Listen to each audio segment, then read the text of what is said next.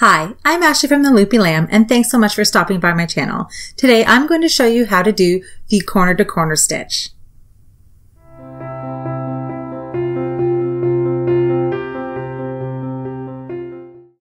So for today's tutorial, we'll be using this Bernat Premium yarn in the color uh, Sky Blue.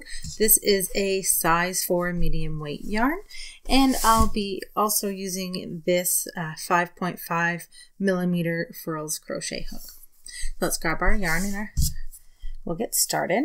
So we're just going to do a small corner to corner swatch in a single color, and I'll show you how to start the project, how to increase and how to decrease. Okay, so to start, you're going to do a slip knot, okay, and place that on your hook, like so. And then you're going to do a chain six, okay, so yarn over hook through the chain. There's one, two, three, four, five, and six. Okay, so you now have six chains and we're going to place a double crochet in the fourth chain from the hook. So one, two, three, four. So yarn over hook under both the back loop and the back bar, yarn over hook, pull through the loop or chain, sorry, yarn over hook, pull through two loops, you'll have two loops remaining, yarn over hook, and through both loops. So the first set of chains that you skipped, that will count as your first double crochet, and then um, this will be your second. So then we'll um, double crochet in the remaining two stitches, our chains. So we'll yarn over hook, into the chain, yarn over through the chain, yarn over hook through the first two loops, yarn over hook, and through the last two. There's your next double crochet completed. And we'll go into the last chain here, yarn over hook, into the last chain, yarn over hook, through the chain, yarn over, pull through two, yarn over, pull through two. So you'll see you'll have four double crochets because that uh, those three skip chains will count as your first double crochet. So one, two, three, four. Okay, so then we're going to turn our work and we're going to chain six. Okay, uh, one, two, three, four, five, and six. Okay, so you've got your six chains and you're going to double crochet into the fourth chain from the hook. So one, two, three, and four. Just pinch that chain so we don't forget. Yarn over into that chain. Now assume that you've got the hang of the double crochets now. Um, we're going to double crochet in the next two chains as well. Once again, we're creating a little block of four double crochet stitches. I'm going to explain a few things about corner to corner once I've got this uh, row, row done. Okay, so we've got these two blocks of four double crochet and we're going to go into the space here between the chain and the first double crochet and create a slip stitch to join them together. So into that chain space, yarn over, pull through the loop, and there you go. So you've joined those together, and you're going to chain two. Now you can also do a chain three if that's your preference, but as we get going, um, you might find that you have a bit of a gap when you're joining into this chain space when you have a chain three. Um, so I like to do uh, chain two in these these um, in on the internal blocks inside the blanket or project. So we're going to work inside this chain space here to create another four double crochet block. So we're going to yarn over into the chain uh, around the uh, post of your chain create three double crochets because that chain two will count as your first double crochet okay so we've got four double crochets here and four double crochets here and we're going to turn our work now before we go to the next step I want I wanted to get to this point before I explained more about this stitch. So your first set of four double crochets created what is effectively the first corner of your project, right? So when we started, it was like this, right? So here's your your starting chain here, um, the tail from your chain, and there's your first uh, three double crochets, and then here's your chain space or your chain that created your fourth double crochet. And then we increased by adding a, a block or tile on either side of that corner. So um, when you're reading a, a, pattern or you're reading a chart, you'll see um, there will be there should be an, a legend that will say each block on the graph equals one block or one tile and and one of these four double crochets um, blocks is what they're referencing when they say um, one tile or one block or in my patterns i like to call them double crochet clusters. Um, so um, we've increased in our second row from one block to two blocks. Okay, and so to increase again, we're going to repeat what we did in row two, but now we're going to have three uh, double crochet clusters or tiles in our, our third row. And I'll show you how to do that. So we're going to turn our work and we're going to chain six again. One, two, three, four, five, oops, sorry, and six. So we're going to double crochet in the fourth chain from the hook.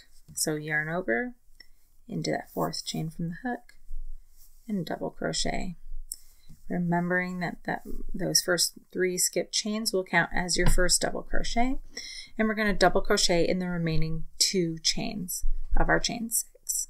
So yarn over hook into the chain double crochet, yarn over into the next chain, and create our next double crochet. Sorry, I'm just going to move my yarn. It's a little tangled there. And so once again, we are going to have to join this loose tile to the rest of the project. And to do that, we're going to go in between the chain two and the first double crochet. So we put our insert our hook between those two and slip stitch together. Okay, so now that's joined to your project. To create our next block, we are going to chain two, one, two, and then we're going to place uh, three double crochets in addition to your chain two for a total of four double crochets around these chains. Okay, so um, I sometimes refer to this as the chain space. So we're going to place three double crochets into that space. So one, two, and three. And then once again, because we've got this loose block here, to join it, we're going to slip stitch into the next chain space.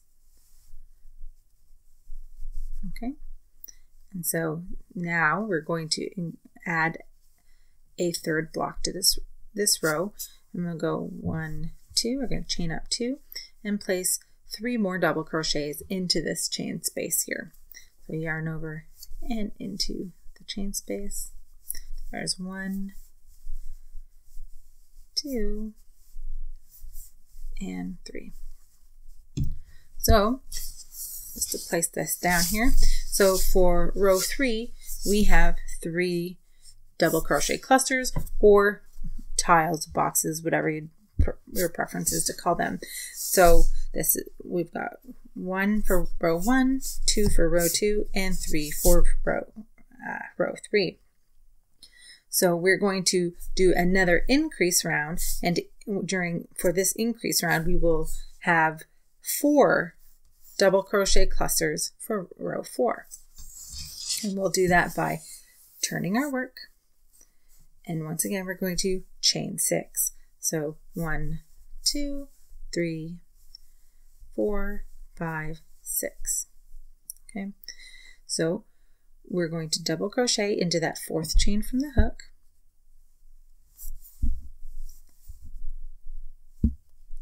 And double crochet in the remaining two chains.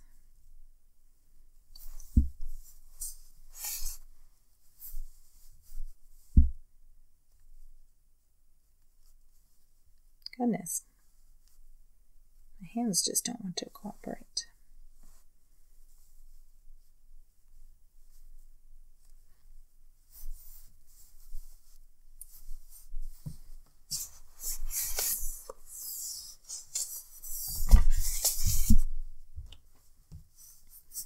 Okay, so we've got this next tile here, and we're going to join it to the body of the work by slip stitching into the chain space of the adjacent double crochet cluster.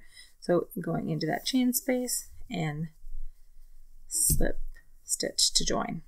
Okay, so then we're going to chain two and place three more double crochets into that chain space there. So let's go one, two, and three. And again, we're going to join to the adjacent uh, cluster with a slip stitch into the chain space. and we're going to chain up two to create the next cluster. One, two, and then again placing three double crochets into that chain space. One, two, and three. And now we're going to join into the adjacent cluster with another slip stitch into that chain space.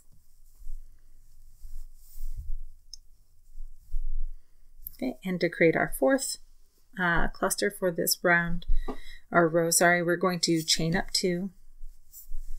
And again, we're going to place three double crochet stitches in addition to your chain two into that chain space. So one, two, and three. And we'll turn our work. So here we've got the end of row four and we've got four double crochet clusters. And so now I'm going to show you how to uh, do your decrease round or row. So to do our decrease row, we're going to, I like to chain one here and then we slip stitch into the end of each double crochet from your last cluster. So I just slip stitch up the stitches here. Sorry, my yarn's tangling. And then we're going to chain up two. And we've got a chain space here. It's hard to kind of hard to see, but we've got our chain space and we're going to place three more double crochets into that chain space. So there's one, two, three, and then we're going to join this block to the rest of the work with a slip stitch into the chain space of the adjacent cluster. And now I'll put this down and just show you that by doing what we've just done, we have now created a second corner to our work. And so we're going to begin decreasing on this side. Um, and we should have um, three clusters on, onto this round. So to create our next block, we're going to chain up two and place three double crochet stitches into that chain space of the um, cluster underneath. And here's our third double crochet. And again, we're going to join into the adjacent cluster here with a slip stitch. And then we're going to chain two to create our next cluster and another three double crochet stitches will be placed in the chain space of the cluster underneath. Okay, so now that we've finished that cluster, we are going to slip stitch into the chain space of the cluster next to it. Right, and we're going to turn our work. So now we've created a second corner um, and I'll show you how we're going to continue to decrease. So we're going to slip stitch across the top of the, of the uh, stitches of the cluster we just finished. So we'll slip stitch one, two, and three. And then we're going to turn our work like this and chain up two. One, two.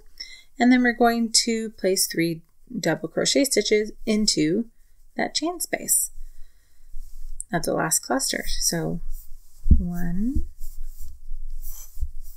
two, and three. Okay, and then we're going to join with a slip stitch to the next cluster and chain up two. And we'll place three double crochet stitches into that chain space underneath. One, two, and three, and slip stitch into the neighboring cluster there. And so before we continue, I'm going to just put this down and again show you that now our little swatch has one, two, and three corners and we've continued to decrease each row and we now have two clusters for the last round. So we're going to finish off our little swatch here and make the fourth and final corner. So we are going to turn our work and we're going to slip stitch across the tops of the stitches of the cluster we just completed. So there's one, two, and three, turning our work and chaining up two. Okay, and then again, we're going to place those three double crochets into that chain space. One, two, and three. So then we're going to slip stitch into that last uh, that next um, block. Goodness, can't speak. And um, you can turn your work and slip stitch to the corner. Um, it's not really necessary, but I like to do it for um, continuity.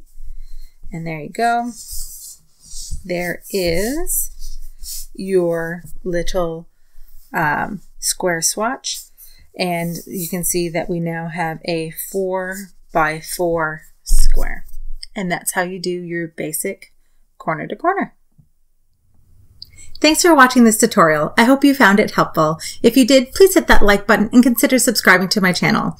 If you like free crochet patterns, please check out my blog, www.theloopylamb.com. Thanks so much for watching, happy hooking, and I'll see you next time.